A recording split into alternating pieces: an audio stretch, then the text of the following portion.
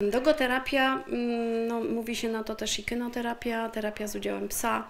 E, Jest to metoda, która pomaga e, w innych metodach rehabilitacji, motywuje e, dziecko dorosłego do ćwiczeń.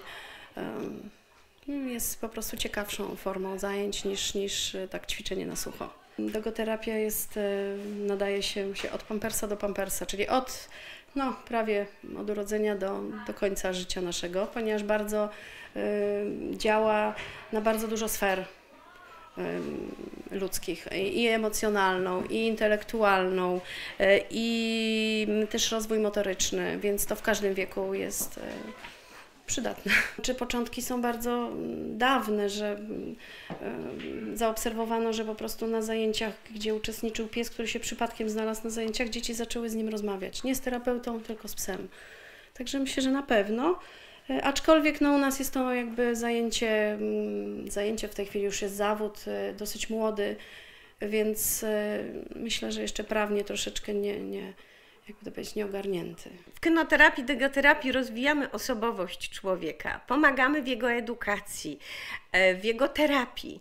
E, W tak wielu aspektach ten pies musi być przewidywalny, a więc musi być odpowiednio wybrana rasa, odpowiednio wybrany hodowca, z tego wybrana para, u hodowcy wybrana para hodowlana, potem wybieramy szczenie, które musi być odpowiednio już u hodowcy socjalizowane, następnie wybrane do celów e, kynoterapii, dogoterapii. Poza tym musi być nauczony bardzo wielu rzeczy, e, sytuacji bycia w grupie ludzi, również pojedynczo, różnych zaskakujących go sytuacji. Taki pies rodzinny tej umiejętności, choćby był najłagodniejszy, jest nieprzystosowany.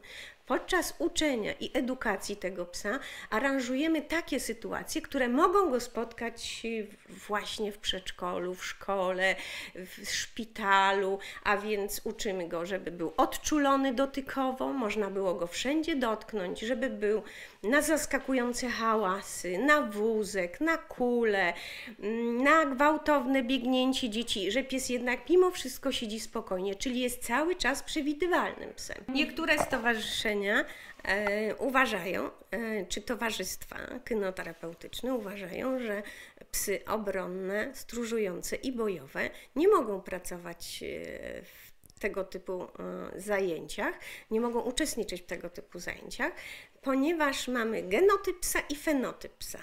Czyli jeśli mamy coś zakodowane genetycznie, to w sytuacjach stresujących i trudnych może się ujawnić.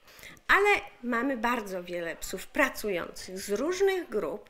Jeśli one zdały egzamin i zostały przetestowane i sprawdzone, na pewno mogą pracować, jeśli mają taki certyfikat, ponieważ przewodnik wie, z czym pracuje. On jest odpowiedzialny całkowicie za swojego psa i to jest zespół człowiek-pies. To jest jak, no właśnie zespół pracujący dla człowieka. Czyli pies jest motywatorem do robień, do różnych działań.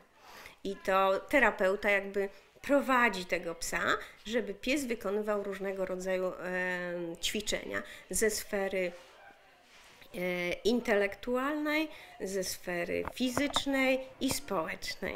Jeżeli e, ktoś potrzebuje terapii różnego rodzaju i ma dużo różnych terapii, to y, pies y, tutaj, który też go włączamy do zajęć, jest jakby hmm, może przyspieszyć pewne procesy, natomiast y, no, nie można ewidentnie powiedzieć, że na przykład na zajęciach z psem dziecko powiedziało pierwsze słowo, że to jest dzięki e, dogoterapii, bo to może po prostu e, tak duże są emocje, że ono powie to słowo, ale proces jakby e, dojścia do tego dużo wcześniej mógł zaistnieć.